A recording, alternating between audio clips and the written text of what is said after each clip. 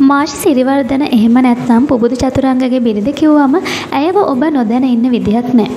මේ වෙනකොට රිදී තිරයටත් ගොඩ වැදිලා ඉන්න මාෂි බොහෝ දෙනෙක්ගේ ආදරය දිනාගත්ත රුවත්තියක් බවට පත් වෙලා තියෙනවා. මෙදා ඇය සියලු දෙනාට ආදර්ශයක් වෙමින් ඇගේ උපන්දිනය වෙනස්ම විදිහකට සමරලා තිබුණා. ඒ ගැන ඇයගේ ෆේස්බුක් පිටුවේ තැබූ සටහනයි මේ. මගේ උපන්දිනය වෙනුවෙන් සුබ පැතුම් එක් කළ හැමෝටම ස්තුතියි.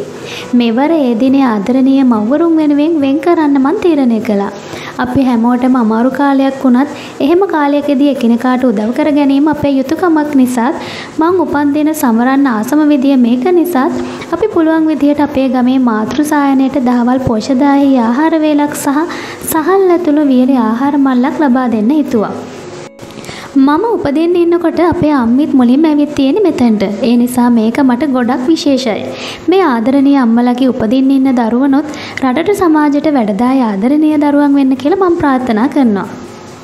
උපන්දින පාටියක් දාලා ලැබෙන සතුටට වඩා ගොඩක් ලොකු සදාකාලික සතුටක් ඒ අම්මලා එක්ක අපි ලැබුවා. අපි හැමෝම මේ කාලේ මෙහෙම පුළු පුළුවන් විදියට අනිකාට උදව් කරගන්න එක ලොකු දෙයක්. ඉතින් මේ හැම පින්කමක්ම මගේ හෙවණැල්ල වගේ ඉන්න ආදරණීය පුබුදු චතුරංගට සහ මගේ ආදරණීය අම්මිත් තාත්ති ඇතුළු පවුලේ සියලු දෙනාටත් අත්තිඩිය මාතෘසායනයේ හෙදකාර්ය මණ්ඩලයටත් හදපිරි විශේෂ ස්තුතිය පුද කරනවා. මේ පින්කමට නන්නයුරින් දායක වූ සියලු දෙනාටත් උදව් උපකාර කරපු අයටත් වචනකින් හෝ දායක වූ හැමෝටමත් ගොඩක් පිං.